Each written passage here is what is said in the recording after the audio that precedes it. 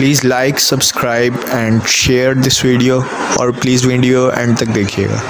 Hello वालेकुम viewers मैं आपका होस्ट जवाज रजा, जो कि होस्ट कम और दोस्त बनना ज़्यादा अच्छा लगता है। तो आज फिर से मैं हाज़िर हुआ एक नए बिज़नेस आइडिया के साथ, और ये आइडिया एक ऐसा आइडिया है, जो मंथली तकरीबन हम मंथली या वीकली इस जगह में आना ही पड़ता है, क्योंकि हमारी नीड्स और वांट्स यहीं पे मिलती हैं वांट्स ज़्यादा दौर पे।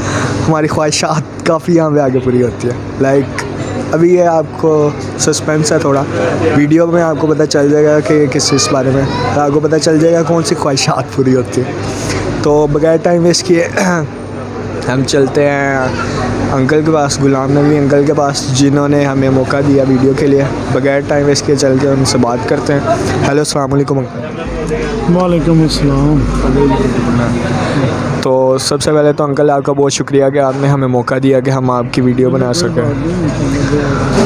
तो ये बता दें आप कितने टाइम से ये कारोबार कर रहे हैं? ये कारोबार तो काफ़ी अर्सा से कर रहे हैं। हम कुछ चालीस पचास साल से कम कर रहे हैं। माशाल्लाह अंकल। मेरे वाला साहब कर रहे थे वाला साहब करते थे उसके बाद मैं कर रहा हूँ। अब मेरी जो औलाद है तीसरी नस्ल वो कर रही है। माशाल्लाह अंकल ये तो हमारी उम्र से ज़्यादा आपका एक्सपीरियंस है। तो आपने ये काम यहीं से स्टार्ट किया था या छोटे लेवल से छोटे लेवल से शुरू किया था, मेरे वाला साहब ने किया था पहले अंदर मैदान के अंदर दुकान थी हमारी, छोटी थी। उसके बाद फिर आस्ता आस्ता काम करते रहे करते रहे, इसके बाद फिर इस लेवल पे पहुँचे हैं। लेकिन वो होता है ना, जो बुज़ुर्ग होते हैं ना, उनका यही मसला होता है कि बस ठीक है यार, जो हो रहा है, इतना ही काफ़ी है। तो वो इसी पे कनात करते रहे, उन्होंने ज़्यादा नहीं किया।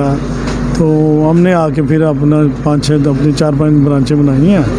तो उनको हम इसी तरह कंट्रोल कर रहे हैं अपनी बात तो अंकल अगर मेरे जैसा कोई यूथ का कोई डिग्री करके फ्री होता है और आपकी तरह यही काम स्टार्ट करना चाहता है तो उसके लिए क्या एक्सपीरियंस और क्या क्या इन्वेस्टमेंट वगैरह क्या क्या चीज़ें उसके पास होनी चाहिए? सबसे पहले तो एक्सपीरियंस है ना दो एक सौ दो साल एक साल दो साल एक्सपीरियंस हो। उसके बाद फिर इन्वेस्ट लगाया तो इंशाल्लाह तरक्की के काफ़ी चांसेस है। फिर अब देखिए, इतनी बिक्री आ रही है, इतनी बिक्री बन रही हैं, जैसे चैन चल रही है उनकी जो बंदूक हैं गोरमें हैं केक्स एंड बेक्स है तो इनके इनके पीछे भी एक तीस चालीस साल का तजर्बा है। गोरमे के पीछे हो गया केक्स एंड बेक के पीछे हो गया। बंदूक खान तो हर भी पड़ गया है तो उन्होंने वहाँ से आदमी लिए तो उन्होंने भी अपना काम अच्छी तरह स्टार्ट कर लिया है। तो ये इस तरह है कि अब तो दौर ही जो है ना वो सारा एजुकेशन का है। इंसान पढ़ा हो तो वो जल्दी पिक कर लेता है। पहले ज़माने में थे एक दुकान बनाई वो कहता भाई ठीक है यार रोटी सिलसिला चल रहा है। कोई बात नहीं। अब कहता है ये कि दो हों दो की चार हों चार की छः हों। तो उस सिलसिले में फिर वो इंसान तरक्की कर लेते हैं। जल्दी अंकल तो अगर छोटे लेवल पे एक दुकान से छोटी सी बेकरी से स्टार्ट करना हो तो उसके लिए आपके तजर्बे के मुताबिक कितनी इन्वेस्टमेंट होनी चाहिए? सबसे पहले तो छोटी बेकरी को बीस तीस लाख बीस लाख रुपया तो लग जाता है जिनमें कारखाना ना अपना हो सिर्फ़ माल लेके तो सेल करना है अपना। तो उसमें तो तीस के लाख रुपए पच्चीस बीस पच्चीस लाख रुपए होना तो यानी कि आजकल तो लोग छोटी चीज़ को पसंद भी नहीं ना करते। डेकोरेशन अच्छी होनी चाहिए। उसके अलावा जो ए सी फ्रिज है वो सारा बीस के लाख रुपये तो कम से कम होना चाहिए। और अंकल आपकी माशाल्लाह से आप ये तकरीबन चीज़ें अपनी खुद प्रोड्यूस कर हैं। हम खुद मेरी अपनी कारखाना हम खुद चीज़ें तैयार करते हैं। तो मेरी और ब्रांचेज भी हैं चार ब्रांचें हो रहा है पाँचवीं ब्रांच है।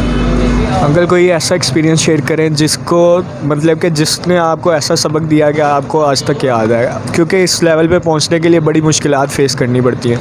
कोई ऐसी मुश्किल जिसको आपको, जिसका दिया हुआ सबक अभी तक आपको याद बस मसला ये है जी, इंसान मेहनत करे ईमानदारी के साथ तो अल्लाह ताला उसमें बरकत डालता है। बाकी तो और मेरा हाल कोई ऐसी बात नहीं है। काम में मुश्किलात आती रहती हैं, कोई ऐसे रास्ते इंसान चलता है कभी वो कहते हैं, ठेड़ा लगता है, गिर भी जाता है, फिर उठता है, फिर गिरता है। लेकिन वो जो कोशिश इंसान करे ना तो अल्लाह ताला उसकी मदद करता है, कोशिश से इंसान सब कुछ हासिल कर लेता है। एक होनी चाहिए, जिस चीज़ों को मैंने ये करना है तो वो ऐसी कोई बात नहीं कि ना हो। पर अल्लाह ताला यकीन हो, सबसे बड़ी बात है कि इंसान यही समझे कि मैंने रिज़्क़ हलाल कमाना है। बस। तो अंकल, जो हमारी यूथ है, नौजवान नस्ल आपको देख रही है आप उसको क्या पैगाम या कोई एडवाइस कर दें बिज़नेस रिलेटेड यही कहेंगे जी अब बिज़नेस शुरू करें पहला छो, छोटे लेवल पर करें लेकिन मेहनत और ईमानदारी से काम, काम करें इंशाल्लाह अल्लाह ताला आपका साथ देगा काम बढ़ता चला जाएगा। चलें ठीक है thank you so much uncle. Okay ji